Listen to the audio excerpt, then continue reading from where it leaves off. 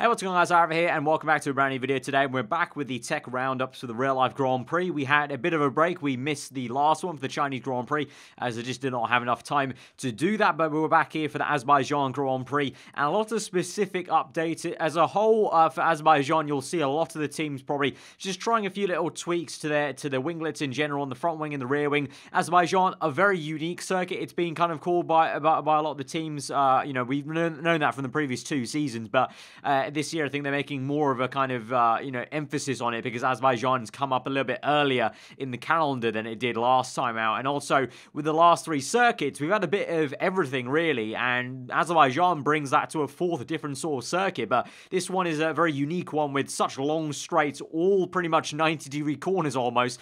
Uh, it's a very unique challenge for the teams, and they have to try and cut drag. And so uh, we used to, well, we we were used to seeing winglets of this nature that you can see on screen right now with the Ferrari car being debuted for the first time only at places like Spa, the Belgium Grand Prix, where obviously at Spa, um, you know, you need the high speed downforce, but also you need to be able to cut drag for the long Kemmel straight. You got the back straight with the Kings down towards the bus stop chicane, uh, and that was generally where the first time the entire season we saw these kind of U-shaped, um, curved rear wings. But now they're coming in very, very early on, round number four for the Azerbaijan Grand Prix. Ferrari and Mercedes trying to tweak their rear wings to try and cut drag. Ferrari with a more kind of obvious swooping nature as we move from the right-hand side of the actual end plate itself towards the inside of the main plane. You can see that swoop down nature. You've got the normal mini T-wing attached to the, the front of it onto the double edge, the two-hand connections coming out, the actual main housing of the exhaust. And you'll see one little streak here on the end plate. If we, I mentioned Renault briefly, they're trying to cut the drag. So this is a very zoomed in picture of the end plate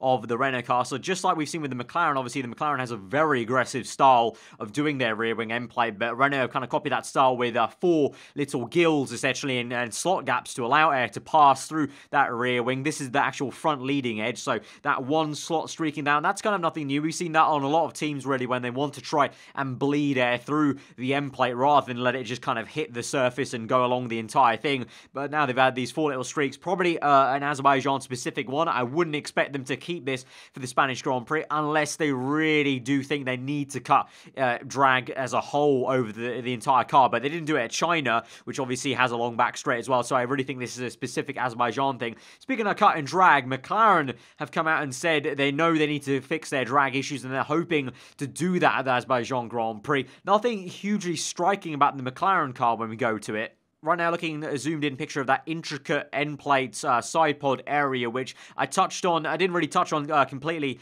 in the last tech roundup we did which was all the way at the Bahrain Grand Prix. And I don't think I've actually even talked about it in a video yet because obviously then I, I missed China. So if you if you haven't seen obviously you hopefully would have seen it on track but you don't exactly know what they're going for here. Obviously trying to mimic a little bit on what Ferrari Mercedes Red Bull have done. You can see they're not quite got to that level of complexity but it's a case of maybe they're waiting for that new if you've missed that video by the way. Uh, there'll be an annotation in the top right. They're maybe waiting for that B-spec car we've heard a lot about for the Spanish Grand Prix. We've heard a lot of talk that uh, from Eric Boullier, this was not the car they actually wanted, and there should be a huge difference in Spain. Maybe they're waiting for that to really start working on this area and really add the kind of you see in the uh, the Mercedes and the in the Red Bull the triple element kind of uh, you know snowplow kind of big sledge wall on the side this side pod area. Maybe they're hoping for that, or they're also they also are conscious of the fact that they don't want to add too much drag onto their car. And with these aerodynamics devices, all very good adding downforce like that, that also does add drag anyway as a whole. So, and McLaren clearly know that's an issue for them. So maybe that's why they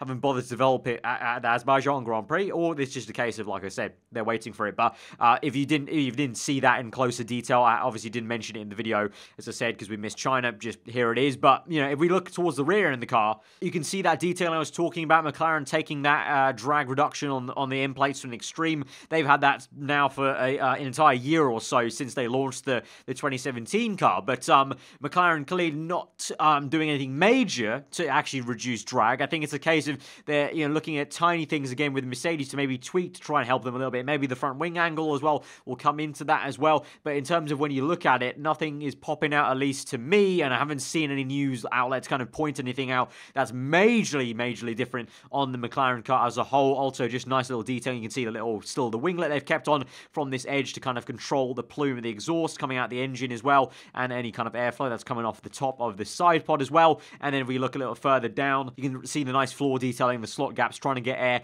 in towards this kind of area where they can create a vacuum seal between the rear wing end plate and the tyre. But a big race for McLaren in terms of proving that they're maybe trying to reduce the drag. But um, I've pegged uh, Fernando Alonso, my F1 fantasy video, if you've seen that, as uh, coming out with a, a, bit of a miracle result, hopefully. And uh, I hope he can do it. It's one of those places where, obviously, it's, if it's like anything like the 2017 Grand Prix, it's possible. We'll see. Coming on to bigger updates, really, we look to Sauber Alfa Romeo, and you can see this uh, very uh, finely uh, cut out slot on their front wing. So it used to be almost like a like the Sauber of 2012. It was kind of just pushed in a little bit. If you remember the launch, um, it was uh, the, the, the front wing had a bit of a how do you say it, like a cliff face almost to it, a little bit of a bulge uh, inwards on the front wing. But now they've actually got a full cutout, and that is for an S duct. So we saw before um, Sauber had a huge, huge duct underneath their entire nose that spanned the entire width of the actual uh, front bit of the, of the nose cone here. And now they've cut out a really big chiseled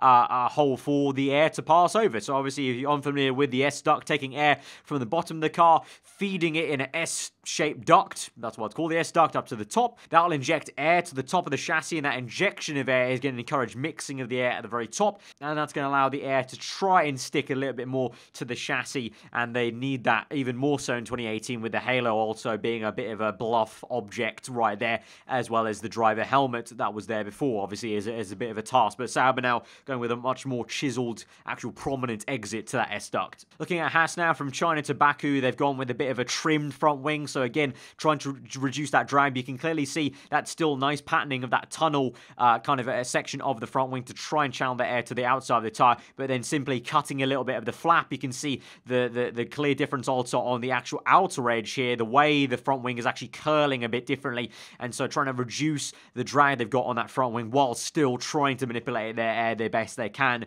And it looks like from these little flicks now, you can see the difference, little tiny, you know, this most subtle of flicks on the very end, trying that'll be to flick air right towards the underside where you've got those winglets right underneath the actual nose cone section and uh, where the Mercedes guys, for example, have the snowplow, Haas have maybe more of just the, the winglets that McLaren kind of have, where it's just kind of dangling across something that we've had in F1 for a while now instead of uh, an actual snowplow there.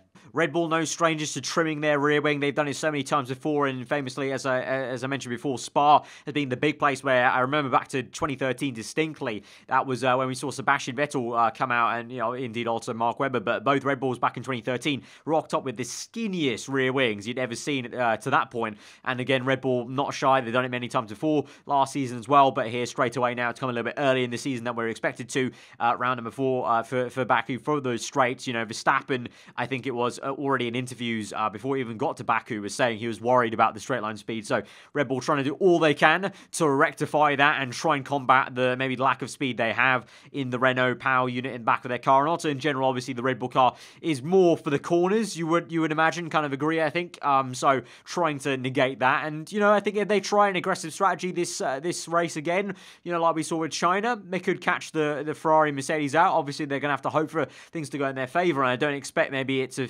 to you know, unless something crazy happens again or there's a safety car, they may not be able to do that. But you can see the difference in the angle, both on the top and the upper flap, just a lot shallower um, in in comparison to China. Going back to Renault, slightly different front wing uh, configuration for them. Instead of these three uh, flaps, you can't really see it from this angle, but instead of these three flaps, uh, very aggressively swooping upwards and also arching a little bit further back to try and control the airflow. Like the Haas, basically, they try to trim it down a little bit, bring everything a little bit more forward, and so trying to cut drag wherever they can while still maintaining the intricacy and the detail clearly in terms of trying to chuck air to the side of the tyres.